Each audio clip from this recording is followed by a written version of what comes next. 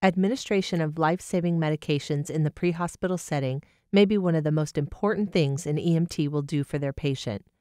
It requires the ability to recognize life threatening conditions, such as hypoglycemia or an asthma attack, knowledge of which medications are used to treat these conditions, and how those medications are administered. Some medications can be administered by the EMT, such as aspirin for chest pain and oral glucose for hypoglycemia, while other medications, such as nitroglycerin for chest pain, bronchodilators for difficulty breathing, and epinephrine for allergic reactions, must already be prescribed to the patient, and the EMT will only be assisting the patient with his or her own medications. Nitroglycerin, or nitro, is a potent vasodilator. It helps dilate the coronary arteries that supply the heart muscle with blood, thereby relieving the chest pain associated with angina and acute myocardial infarction or heart attack, and reducing damage to the heart muscle. In many cases, the patient has been advised by his or her physician to take nitro whenever they experience chest pain. EMTs commonly arrive on the scene to find that a cardiac patient has already taken their nitro. In other cases, the patient may have the medication but has not yet thought of using it.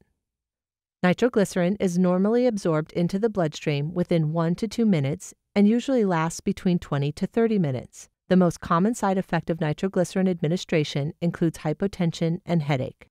To assist a patient with nitro, all of the following indications must be met. The patient is complaining of chest pain.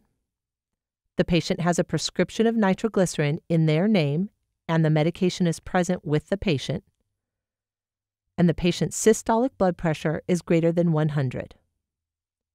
Contraindications for use of nitro include the patient's systolic blood pressure is less than 100, the patient has already taken the maximum prescribed dosage prior to your arrival, the patient has taken Viagra, Cialis, Levitra, or other sexually enhancing drugs within the last 24 to 48 hours, or the patient has a head injury or other significant trauma.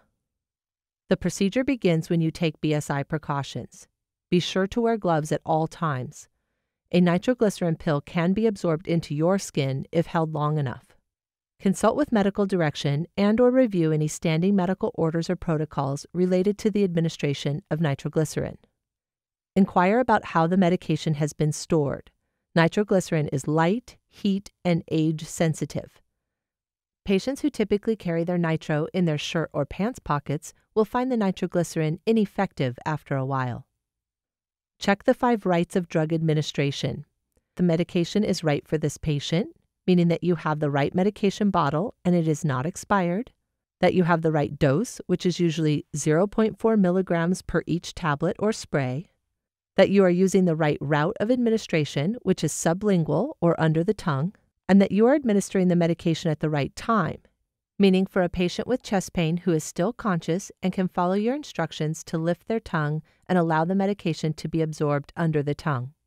Explain the procedure to the patient, including instructions not to swallow the medication, but to allow it to be absorbed under the tongue. Also, confirm no allergies to the medication and that the patient has not taken any sexually enhancing drugs in the past 24 to 48 hours. Place the patient in a comfortable position, preferably one that will allow you to move the patient into a supine position if necessary in the event of hypotension. If the patient's nitro is in tablet form, take these steps. Remove the oxygen mask. Ask the patient to open the mouth and lift their tongue. Place the tablet under the patient's tongue, then replace the oxygen mask. Ask the patient to wait at least 10 seconds before swallowing. If using nitro spray, do not shake the container as it can alter the metered dose. Direct the spray under the patient's tongue, then replace the oxygen mask. Ask the patient to wait at least 10 seconds before swallowing. Reassess the patient's blood pressure within two minutes. Ask the patient about the effect of the medication on pain relief. The goal of pre-hospital medication administration is to make patients pain free not to just take the edge off of their pain. If the chest pain persists, advocate for your patient by inquiring about a subsequent dose of nitroglycerin.